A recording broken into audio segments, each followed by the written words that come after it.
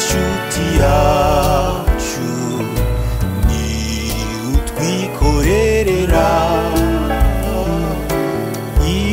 Imibabaro n'ibyaha akatwuzuza na sida yesu ashimwe eh, ndabasuhuje mwese bari mu nzu y'imana n'abazumva ijambo ry'imana nyuma. Kuri kwizera yesu tv mwese mwese ndabasuhuje mu izina rya yesu. Imana ibahe imigisha. Tugiye kugira ibihe byiza tugiye kuganira ku ijambo ry'imana. Imana iduhaye kugira ngo twumve uyu mwanya. Reka dusenge. Turagushimiye mwami yesu kubw'ijambo ryawe uduhaye. Tuguhaye ikaze uze wigishe yemwe igikoresho cyawe. Maze ubutumwa butambuke bugere ku muntu wese nk'uko wabiteguye kuva kera kose kandi iri jambo rifashe imitima y'abaryumva n'abazaryumva nyuma bose. Abafite ibyifuzo ndabasabiye umwami yesu ubahe ibisubizo kandi abarwayi bakize ndabingingiye mu izina rya yesu. Amen. Tugireho kumva ijambo ry'imana ryiza cyane n'ubundi ijambo ry'imana rijya riryohera nkumva kuko ko ari ibyo kurya by'umwuka. Ah, uyu munsi imana imuhaye ijambo ryerekana ukuntu yesu akunda abantu.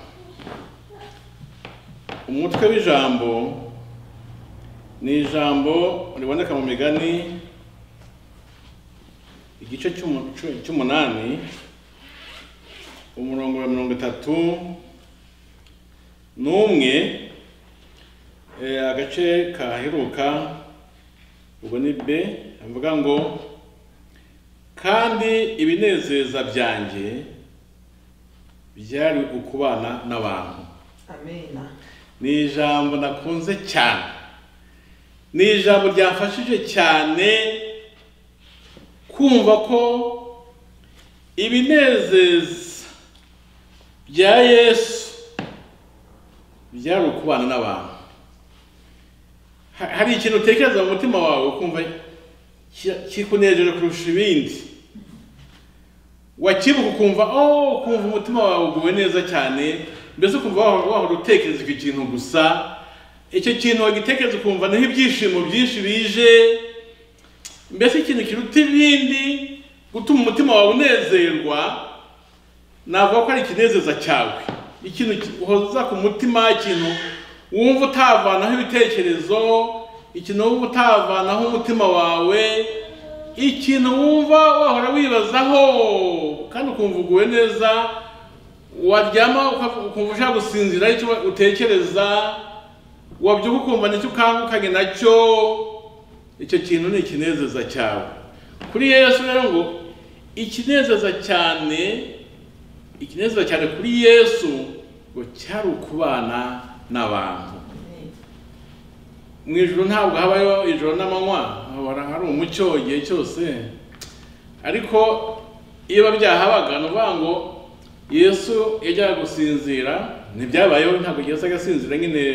Mu ijoro ntabwo habaho ijoro ngo habeho n'ibitotsi. Ariko biza kuba bihari. Yesu yari kujya ajya gusinzira agasinzira atekereza kubana n'abantu. Mu gitondo yakwicura yakanguka akumva none atekereje kubana n'abantu.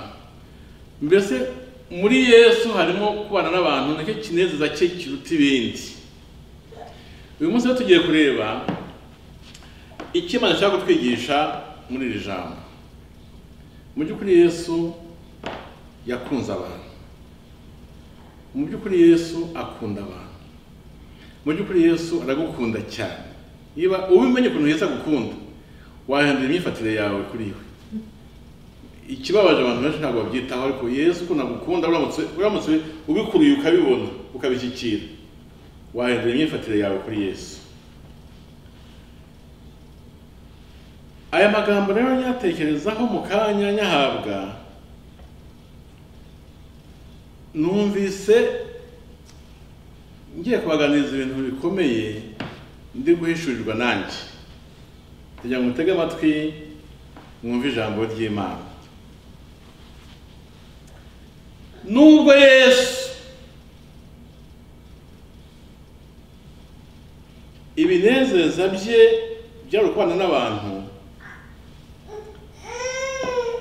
hariho tugiye kubona ko hariho inzitizi. Kuri uwo mugambi mwiza yesu yari afitiye abantu. Inzitizi ya mbere yabaye ko adamu na eva bakoze icyaha. Hazamo agatotsi hagati y'imana n'abantu. Inzitizi ya kabiri niyo ngiye gutindaho ni uko nyine kubera adamu na eva abakomotseho bose bitwaga cyangwa se bitwa abanyabyaha. Kandi abanyabyaha ntibaba mu ijuru. Hari umuntu wigeze kuvuga ngo ufashe umunyabyaha ukamu- ukamu- ukamutereka mu ijuru akabona ageze ageze ari umunyabyaha nk'uko yakabaye.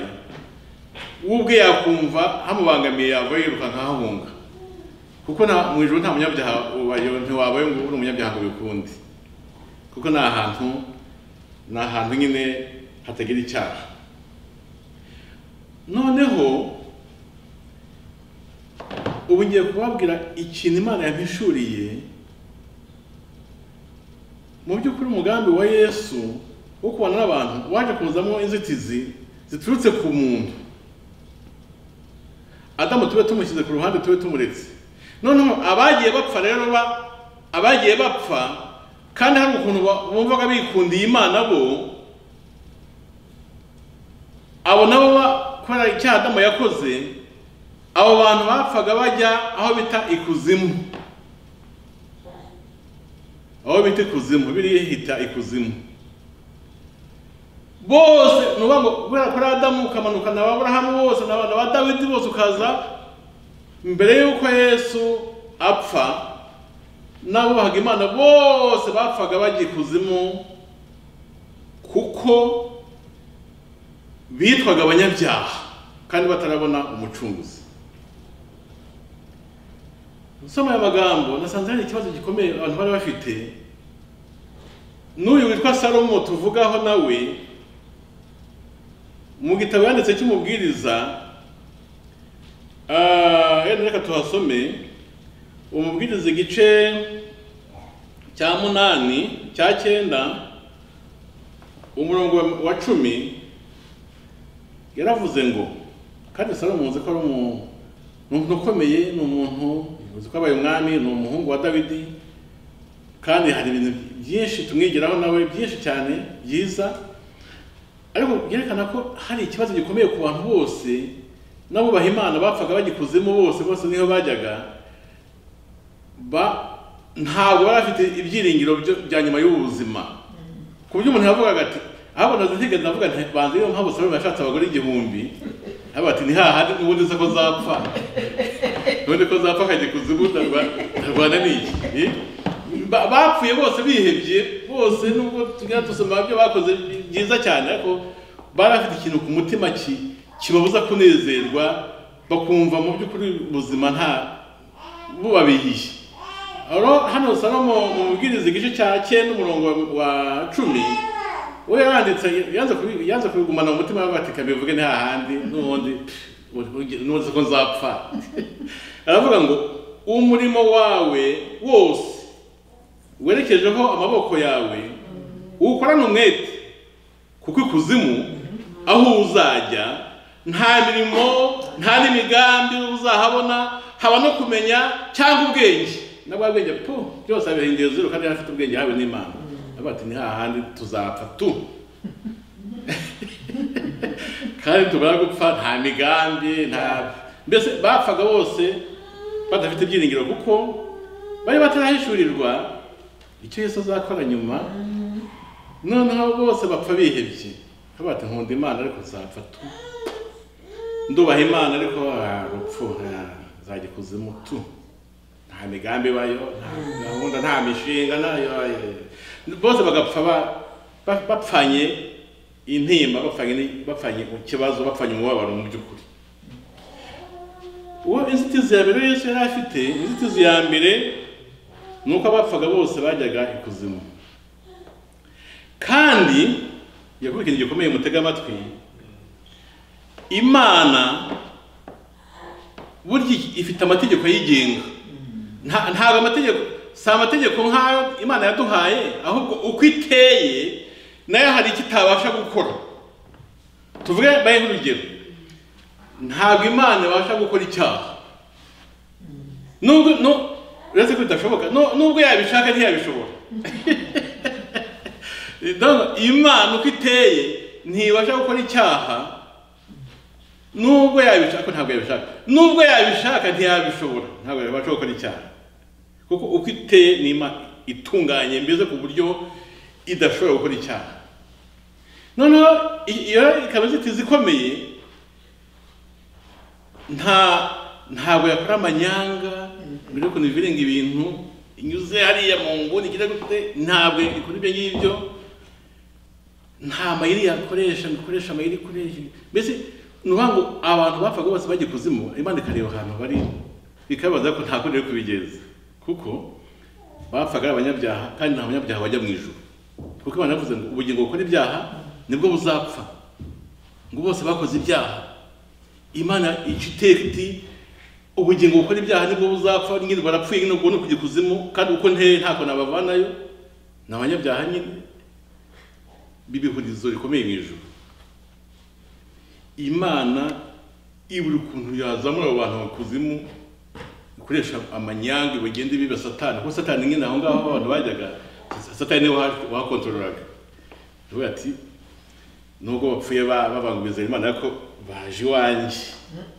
Eh, baje iwanjye nijye ufite urufunguzo baze bajye baza. Nubwo imana yanciye mu ijoro ariko nanjye ifite abantu bayo nanjye ndebe Eh, mbese satani agasa nk'uwirya icyara mbese ngo ati ndabafite tu mfite ba burahamu mfite ba dawidi mfite ndahagora satani agahora yirya icyara avuga ati nubwo naciwe mu ijoro ariko mfite abantu b'imana nanjye nibura hano. Saba imana gusa n'abandi bose bajyaga ariko satani akavuga ati ab'imana nabo bari hano hamwe n'abandi ndabafite. Iyo ngiyo inzitizi ikomeye ko abapfaga bose bapfaga bajya ikuzimu nubwo bapfaga bizeye imana. Imana ifite amategeko ayigenga imana ni juste just. Imana ntabwo ishobora kuvuga ngo umuntu ni umukiranutsi kandi ari umunyabyaha.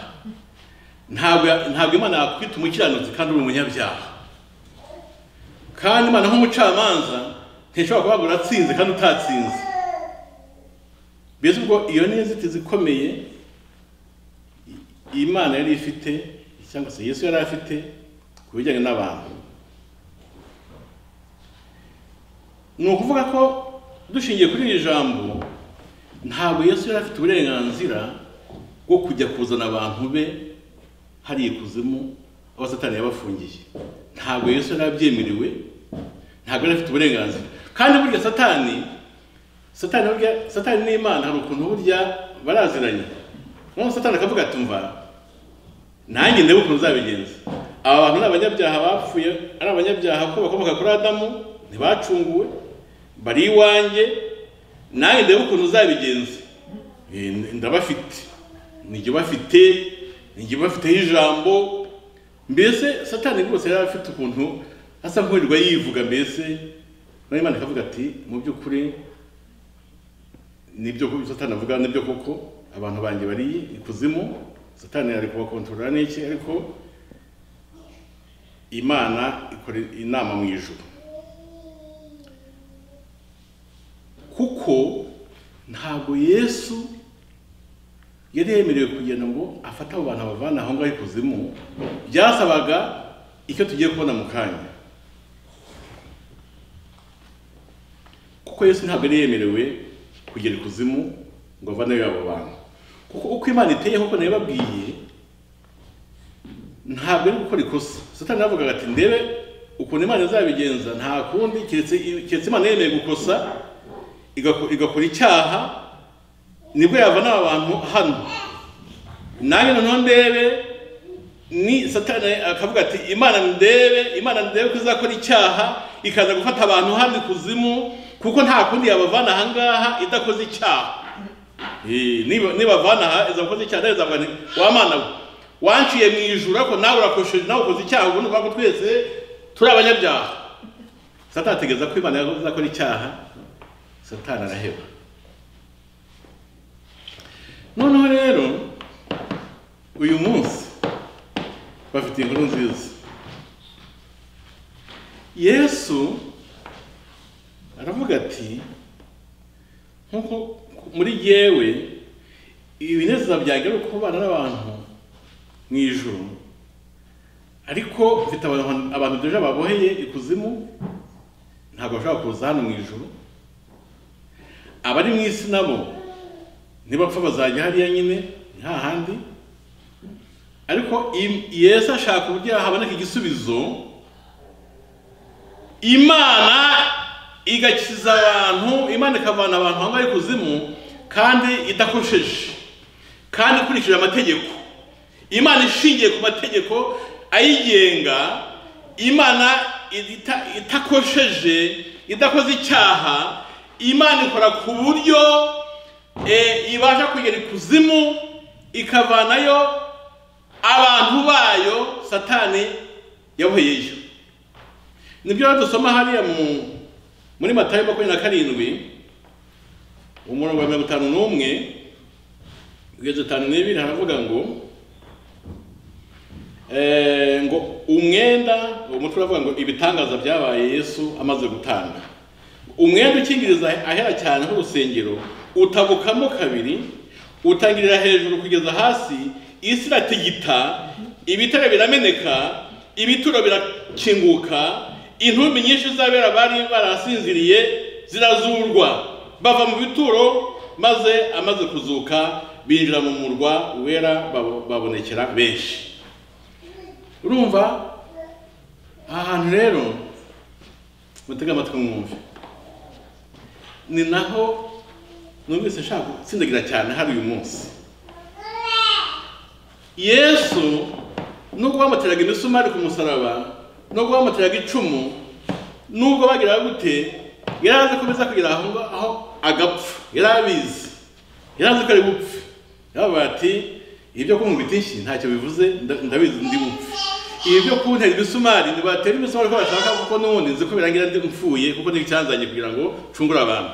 Niba bashaka n'icumu baritere mu rubavu ntacyo bimbwiye. Ibyo byose na- naje nabyiyemeje kugira ngo mpfe hanyuma mbashe gukiza abantu. Yesu mu gupfa kwe ku musaraba yapfuye mu rwego rwo kugira ngo akize abantu bose bo mu isi bazamwemera. Ariko ikintu cyantangaje nshaka no kuvugaho cyane ni ukuntu feri ya mbere agipfa yahise ajya ikuzimu kureba ba bantu. Yesu ashimwe.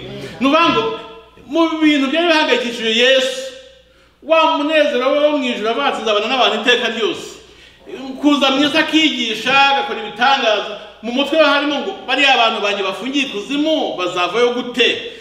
Yesu agipfa ahita amanuka. Ni ngo ntabwo ngo ikize icyari kimuraje inshinga cyangwa se ikihutirwaga mbese. Kuri yesu ni ukujya kubura abo bantu ndabona akabavanayo. Amen amen. Ni ukuvuga ngo yesu agipfa nta handi yanyuze nta muntu yasuhuje wundi nta nta nta gahunda no kuvuga na data wa twese sinzi ko banavuganye nta nta gahunda yindi. Mbese uvuga ngo agipfa ahise amanuka ajya aho hantu. Byerekana ko yari ahangayikishijwe n'abantu be bari kuzimu. Nicyo kintu cya mbere yesu yakoze. Agipfa. Nicyo kintu yihutiye gukora ako kanya. Niyo poroje ya mbere yesu yakoze niyo gahunda ya mbere yesu yakoze ni- niwo mutwaro wa mbere yesu yumvaga ashaka kuvanaho mbese yesu agipfa ahita amanuka ajya ikuzimu kugira ngo avaneyo abantu bari bakingiranyeyo aho ngaho ikuzimu kwa satani. Iri jambo narisomye ndavuga nti yesu yari afite ikibazo. Yari afite ikibazo cy'uko abantu bose bagomba nyine gukizwa baka bagakizwa n'amaraso ye kubwo kumwizera ariko ikibazo cya mbere yari afite ni ukugira ngo abohore abantu be bari bafungiye ikuzimu none natwe twese tuza tuzizeye dukizwe. Ariko ikintu cya mbere yakoze ni ukujya kubohora abo bantu. Byerekana ko yesu yari afite ikibazo. Yari afite ikibazo yesu.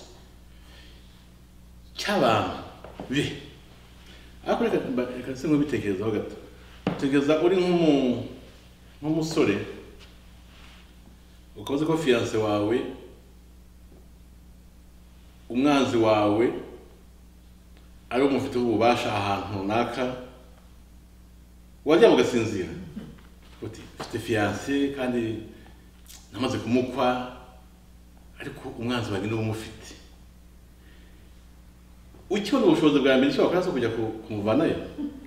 Eh? Niki cya mbere wakora. Njye ndeba n'ibihugu iyo bafasha abantu babo bafashwe n'ibyihebe baba bakora amanama amanywa nijoro bashaka uburyo bavanayo abantu babo aho hantu. Ntabwo uba utuje kugeza igihe umuntu wawe ava mu maboko y'umwanzi. Yesu ntabwo yari atuje igihe cyose abantu be bari bakiri kuzimu. Ibindi byose yabikoze nyuma. Yabanje kujya aho hantu. Yabanje kujya aho hantu. Yarahangayitse avuga ati abantu banjye koko? Noneho impamvu rero yesu yabasha kugera ikuzimu akavanaho bariya bantu. Reka nyibabwire ni impamvu ikomeye. Nababwiye ko imana uko iteye ifite amategeko ayigenga ntishobora gukora icyaha kandi ntabwo ushobora kuvuga ngo umuntu ni- umukiranutsi kandi ari umunyabyaha. Kandi satani yaravugaga ati nanjye ndebe abantu b'imana bari ahangaha kugira ngo bahave. Keretse imana ikoresheje gusiga akora icyaha nabo ubundi ntabwo bazahava. Noneho rero yesu yari amaze gupfa amaraso ye yari afite ubushobozi bwo gukiza n'abo bantu ba- bapfuye bamwizeye bari kuzimu. Noneho bityo rero yesu yari yemerewe mu buryo bwemewe n'amategeko agenga imana. Imana yari yemerewe noneho kumanuka ikajya ikuzimu ishingiye ku mategeko ayigenga kuko yamaze kumena amaraso yamaze gupfa ku bw'abo bantu. Abantu n'abe yabaguze abantu n'abe yabacunguye abantu ntabwo bakiri abasatani ntabwo bafite satani bafiteho ububasha abantu abantu b'imana bongeye kubona uburenganzira bwabo bwo kutagira inzitizi n'imwe yo kubana n'imana yesu amanuka afite urupapuro rwerekana yuko abo bantu yabaguze yabacunguye ari abantu be. Agomba kuvana aho hantu afite uburenganzira bwo kuvana aho hantu. Satani aho byari bigeze aho ngaho ntabwo yari agifite ubushobozi bwo kuvuga ngo none se ko uje hano ikuzimu kandi uje gute? Yesu yagombaga kugira ikuzimu n'ikuzimu kuko yamaze gukora umurimo umwemerera kugera aho hantu. Yesu yaramanuka afite uburenganzira bwose bwemewe n'amategeko uburenganzira bwose bwerekana ko imana idakosheje uburenganzira bwose bwerekana ko imana ikurikije amategeko ayigenga yo bwo kuba yakwinjira n'aho ngaho kugira ngo af- afate abantu be ubwo ndavuga yesu. Yesu rero yinjira ikuzimu afite uburenganzira busesuye bwo kuhagera kandi satani nta jambo afite na rimwe ryo kubwira yesu. Yesu rero yinjira aho ngaho ikuzimu ikintu cya mbere yabohoye abantu bati muzamuke. Noneho ubwo abantu bakizamuka yesu ubwo nyine ageze ikuzimu ikindi cya mbere yakoze ni ugufata satani akamuboha neza. Bya nyabyo. Ariko kumuboha ndibwira ko hari akantu kahanyuze ntekereza ko ntabwo yesu yagiye anegosiya na satani amubwira ati bitesha abantu banjye ko eh, yesu yinjiye nk'ugiye kureba uwo muntu koko wababaje abantu akabagumisha aho ngaho ikuzimu akagira gute? Ndibwira ko satani ibiboko yahakubitiwe ntabwo uzi icyo yesu yakoze? Egizayitoma kuri satani. Ariko byose hari ukuntu yaba- yababaje satani n'abadayimoni be. Hari ukuntu yesu yabigenje. Kuko impamvu tuvuga ko hari ukuntu yabigenje ni uko uvuze izina rya yesu abadayimoni birukanka birukanka bajya he? Kuki birukanka uvuze yesu gusa? Baba bahunga iki? Gitegereza ko babibutse ukuntu yabigenje cyane bati turapfuye aragarutse Eh, ko mujye mwirukana abadayimoni mu izina rya nde? Rya yesu.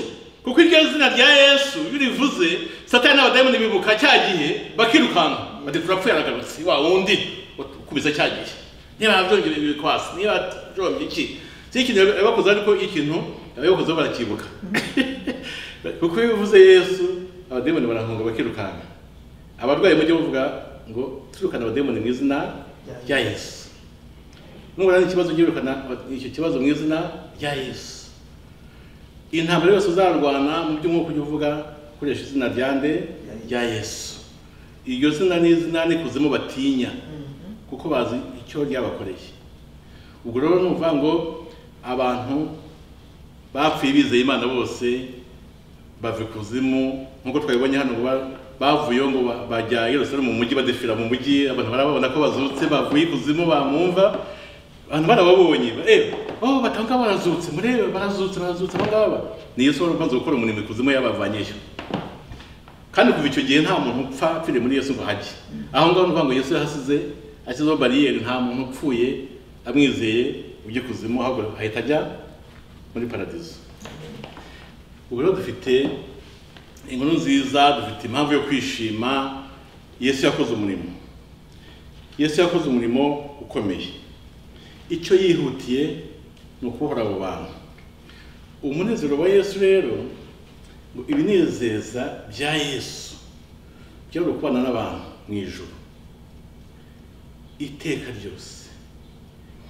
Yesu kandi ashatse yakora ku buryo umuntu wese atinya akapfukama akizera yesu ku ngufu umuntu wese yesu yabishatse byaba gutyo. Ariko yesu siko yabishatse. Yesu yashatse ko abantu bazajya mu ijuru bakabana nawe iteka ryose muri uwo munezero nyine aba afite igihe cyose wo kubana n'abantu mu ijuru. Yesu yashatse ko abantu bazajya ari abantu bamuhisemo ku bushake. Nta gahato. Tekereza uramutse urongoye umugore ukamurongora atagukunda bitewe n'uko wakoresha iterabwoba gusa. Nzakwica nutambera umugore sha Uti, uzanyica se? Nzakwica. Twese ubaye umugore wanjye. Hari- uwakwemera bati mva kugira ngo mpfe. Ariko nta kintu cyiza nko kuba wabana n'umuntu wagukunze. Bivuye ku mutima we nta gahato nta influence yindi ijemo ukavuga uti ukavuga uti nese ko ushaka ko twabana wemeye ko twazabana kuko akavuga ati oh. Ndabyemeye cyane ndagukunda cyane. Kandi abikuye ku mutima uwo muntu ntahuriye n'umuntu waza bitewe n'impamvu yindi itari iyo ngiyo y'urukundo.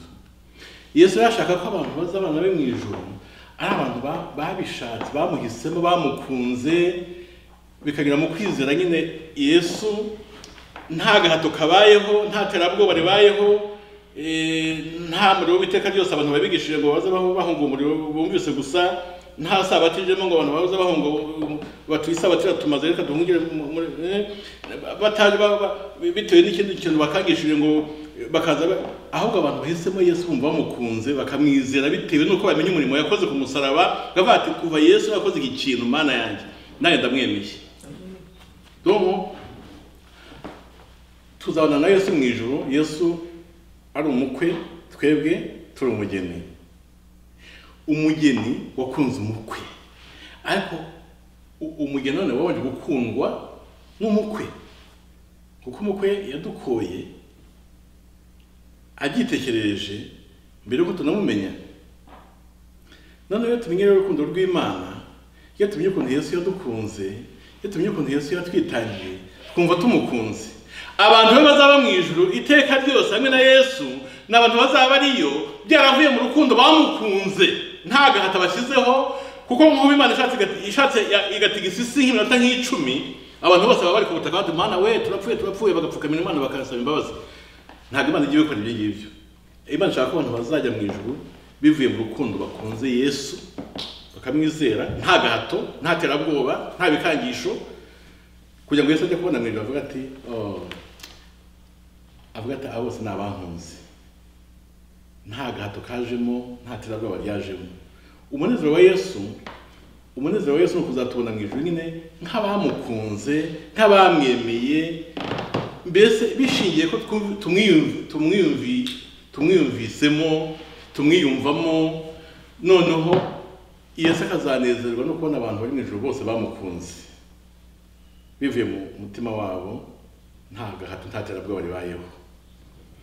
Ijambo ry'imana ry'uyu munsi ni ijambo twereka agaciro yesu aduha. Ushobora kuba ujya wisuzugura ariko si byo. Ntuzongere kwisuzugura. Mu maso y'imana urahenze. Abantu bashobora gusuzugura. Abantu bashobora gusuzugura abantu bashobora kuguha akato abantu bashobora kutakwitaho abantu bashobora gufata uko bashatse ariko imana yo iguha agaciro gakomeye cyane. Mu maso y'imana urahenze cyane. Ushobora kuba muto mu bantu ushobora kuba umuntu udafite agaciro mu bantu. Ushobora kuba umuntu abantu bose batemera bataniyumvamo. Ariko imbere y'imana siko bimeze. Uri uw'igiciro cyinshi cyane mu maso y'imana. Kandi icy'ingenzi si no kwemerwa n'abantu icy'ingenzi ni ukwemerwa n'imana. Icy'ingenzi ni uko imana yo ikwemera. Kuko n'abantu bashobora no kukwemera ariko bikazarangira ntacyo bina- binakumariye. Ariko imana iyo ikwemeye yo ni iby'igiciro kuko mu ijuru uzabayo mubane mu ijuru kandi ubeyo wemewe n'ijuru. Ushobora kutemerwa mu isi ariko uke- ukemerwa mu ijuru. Ushobora kutemerwa n'abantu n'abantu ariko ukemerwa n'imana. Uyu munsi rero ndagira ngo mbibutse ko muri ab'agaciro mu maso y'imana. Ko mukwiye kumenya ko muri gahunda Yesu afite gahunda y'iteka ryose warimo niba umwemera wari umubare w'abantu Yesu ari mu kubona bazabana nawe mu ijuru. Ndetse Yesu ari mu isi ngo kubera kubona ukuntu bizaba bimeze mu ijuru byatumye yihanganira imibabaro yo mu isi bitewe n'ukuntu yatubonaga mu gihe tuzaba kumwe nawe mu ijuru tubanye nawe iteka ryose. Ndagira ngo rero mbakomeze. Mwe mukijijwe mumenye yuko muri mu mugambi w'imana kandi ko byari umunezero kandi bikiri umunezero kuri yesu wo kuzabana nawe wo kuzabana namwe mu ijoro iteka ryose. Ufite ubwiza butuma yesu yifuza kuzabana nawe mu ijoro iteka ryose. Ufite agaciro gatuma yesu yifuza kuzabana nawe mu ijoro iteka ryose. Ntabwo yesu azabana na- n'ibikoko n'inyamaswa n'ibindi bidafite agaciro bindi navuga ahubwo yesu yashimye kuzabana n'abantu mu ijuru. Kandi muri abo bazabana na yesu mu ijuru niba umwemera niba wemera yesu nawe urimo. Ubwo rero byishyireho noneho bivana ku bantu bose ubyishyireho. Ni ngo mu binezeza yesu harimo kuzakubona muri kumwe mu ijuru ku giti cyawe.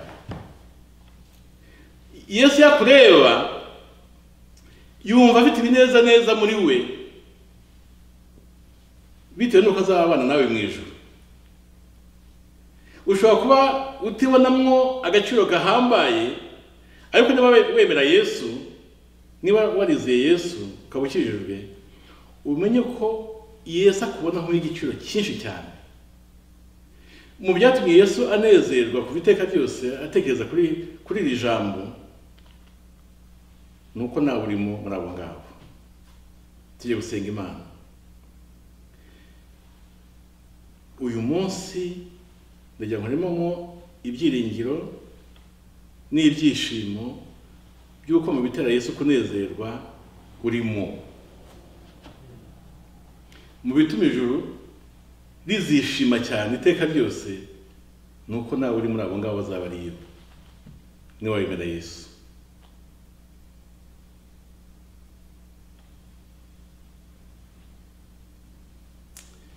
Numva bindenze tujye gusenga imana munezerwe n'uko muzaba mu ijuru iteka ryose. Hamwe na yesu.